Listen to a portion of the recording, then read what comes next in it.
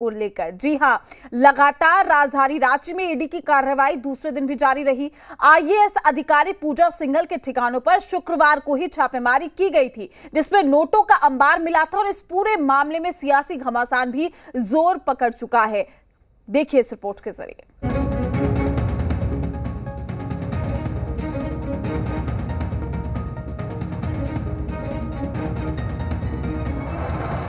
ED की कार्रवाई दूसरे दिन भी रही जारी। झारखंड में सियासी घमासान भारी। राजधानी रांची का ये पल्स सुपर स्पेशलिटी हॉस्पिटल है।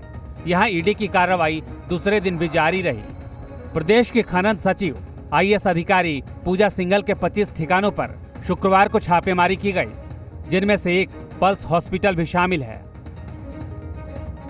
आईएएस अधिकारी पूजा सिंघल, खनन सचिव के लगभग देश के 20 ठिकानों में लगभग 30 घंटे से अधिक हो रहे हैं और लगातार छापेमारी चल रही है।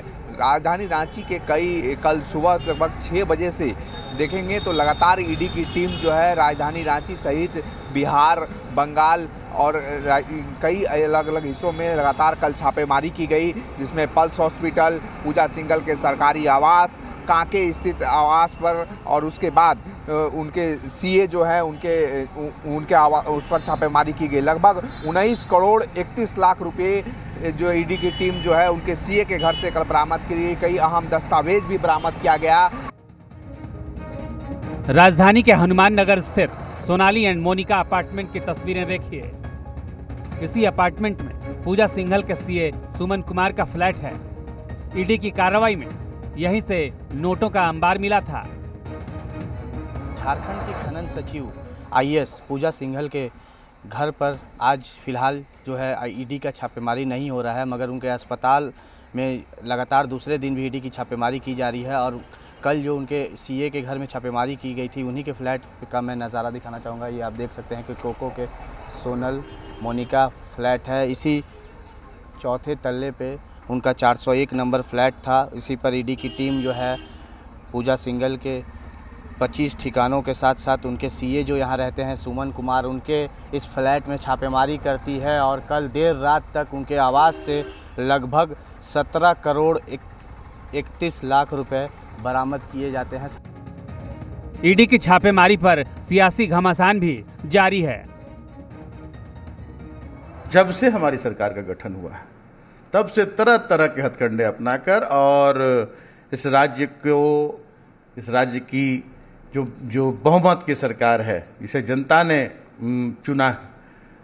इसको अस्थिर करने के लिए निरंतर प्रयास करती रहती। भ्रष्टाचार के मामले को बिल्कुल नहीं होना चाहिए और पूरे देश में इस तरह की कार्रवाई होनी चाहिए। मैं इससे इनकार नहीं करता हूँ।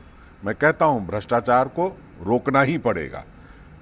किंतु ये जो लोग बोल रहे हैं, उनको ये भी बताना चाहिए जब कि ईडी अब तक ये क्यों नहीं बता रही है कि किस समय का भ्रष्टाचार है?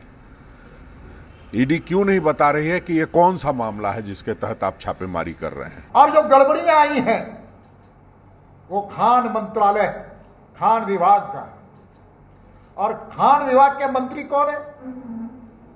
मुख्यमंत्री जी स्वयं है। मुख्यमंत्री जी स्वयं है। खान सचिव के भ्रष्टाचार में खान विभाग पूरी तरह से सहभागिता है और मुख्यमंत्री इससे भाग नहीं सकते। सियासत तो अपनी जगह है, लेकिन ईडी की कार्रवाई में जब्त हुई भारी भरकम संपत्ति आईएएस पूजा सिंघल के लिए बड़ी मुसीबत खड़ी करने वाली है। अभिषेक के साथ आशीष, जी मीडिया